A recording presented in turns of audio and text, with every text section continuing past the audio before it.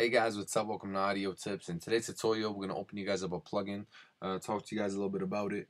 Uh, today's plugin is called the C Comp. We're going to go to our, let's say you guys want to open up open it up on a vocal track. We're going to go to the vocal track, the plugin, down to Dynamics. We're going to go to C1 Comp Mono. Uh, it's going to look a little something like this. This is a pretty good compressor, guys. The C1 is a powerful family. Uh, you got your compressor um, uh, over here how much you want to compress.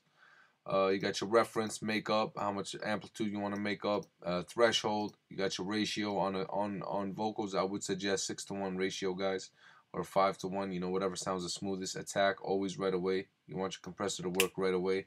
Be snappy and release. You can play around with it, but you won't really hear a difference if you're a beginner.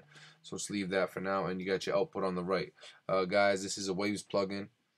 Um, it's very, it's a very good plugin. I suggest you guys maybe download a demo of it, uh, try it out. I just wanted to show you guys what the C C1 compressor looks like a little bit, give you guys a little bit overview on it, show you guys what kind of options it has to offer. But this is basically it. Thank you guys for watching. I hope you guys enjoyed, and uh, please subscribe.